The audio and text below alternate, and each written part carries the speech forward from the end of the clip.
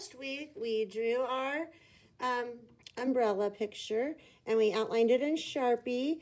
This week you're going to go ahead and color it in crayon. Notice how I got most of my white spaces colored in the best I could.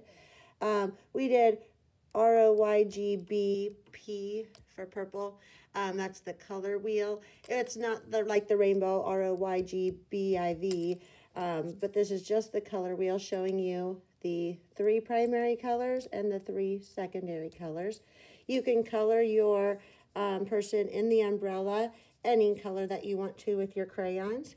Whenever you're done, what you're going to do is you're going to take a white crayon and it's going to be hard to see, but you're going to make like swirlies here on the ground with your white crayon. Because in just a little bit, when we're done, we're going to paint over these with like blues, maybe a little bit of purple if you'd like some purple too, to make a nice rainy scene. And these white spirals are going to show up like little raindrop spirals on the ground. And then up top, you're going to go ahead and make little raindrops coming down, little white raindrops all over the place. And those are going to show up too when we paint our picture. It'll be left with these white raindrops. After you've colored it, you've made your little white spirals and your raindrops in the sky. The next thing you're gonna do is you're gonna take your paintbrush and you're gonna take your paints and you're gonna get the paintbrush wet. Now you don't have to push hard on these paints. You can just pet them just a little bit, kind of swirl it around and get some of the paint color up on your brush. And then what you're gonna do is you're just gonna start painting in your background with your blue color. Get a little bit more water here. And your little raindrops will start showing up. They're not gonna show up a lot, but you can kind of see the white in the background there where I put my raindrops.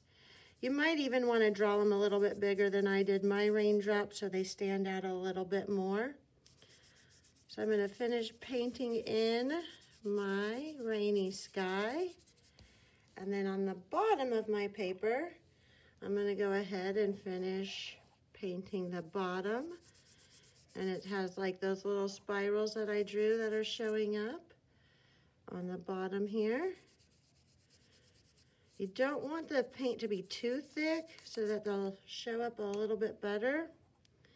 I'm just kind of using a lot of water and a little bit of paint to kind of mix in my colors here.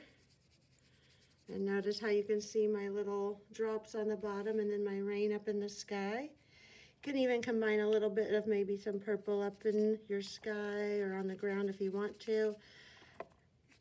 It just kind of depends on what you'd like to do with it.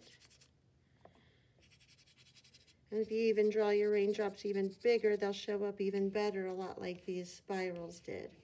But when you're done, this is what your picture should look like.